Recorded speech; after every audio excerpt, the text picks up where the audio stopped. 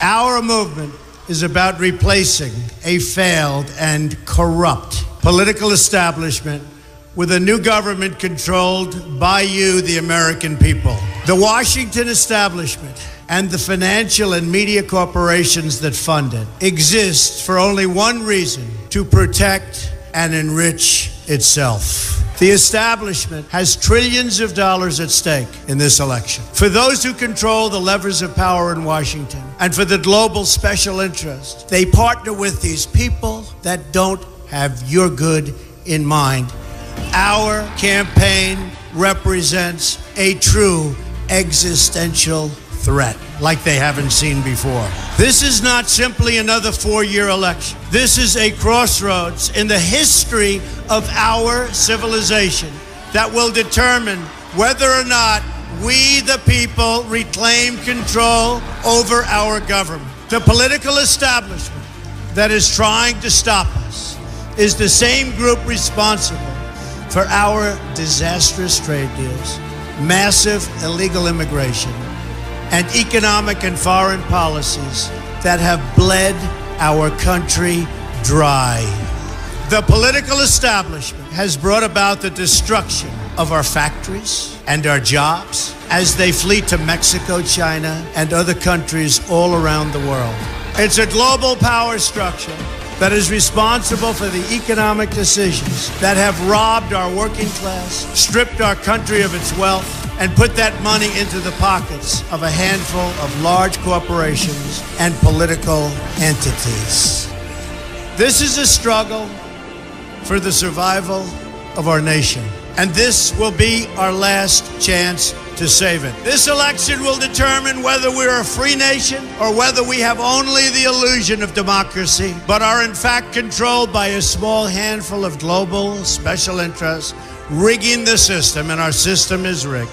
This is reality. You know it, they know it, I know it, and pretty much the whole world knows it. The Clinton machine is at the center of this power structure.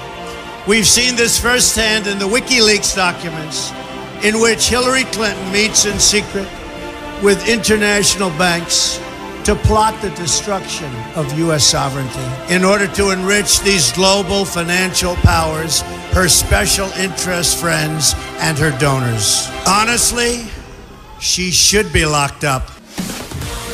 The most powerful weapon deployed by the Clintons is the corporate media, the press. Let's be clear on one thing the corporate media in our country is no longer involved in journalism. They're a political special interest, no different than any lobbyist or other financial entity with a total political agenda, and the agenda is not for you, it's for themselves. Anyone who challenges their control is deemed a sexist, a racist, a xenophobe. They will lie, lie, lie, and then again, they will do worse than that. They will do whatever is necessary. The Clintons are criminals, remember that. This is well documented. And the establishment that protects them has engaged in a massive cover up of widespread criminal activity at the State Department and the Clinton Foundation in order to keep the Clintons in power. They knew they would throw every lie they could at me and my family and my loved ones. They knew they would stop at nothing to try to stop me. Nevertheless, I take all of these slings and arrows gladly for you. I take them for our movement so that we can have our country back. I knew this day would arrive. It's only a question of when.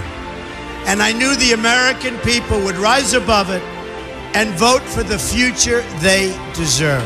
The only thing that can stop this corrupt machine is you. The only force strong enough to save our country is us. The only people brave enough to vote out this corrupt establishment is you, the American people. Our great civilization has come upon a moment of reckoning. I didn't need to do this, folks, believe me. I built a great company and I had a wonderful life. I could have enjoyed the fruits and benefit of years of successful business deals and businesses for myself and my family. Instead of going through this absolute horror show of lies, deceptions, malicious attacks, who would have thought? I'm doing it because this country has given me so much, and I feel so strongly that it's my turn to give back to the country that I love. I'm doing this for the people and for the movement, and we will take back this country for you, and we will make America great again.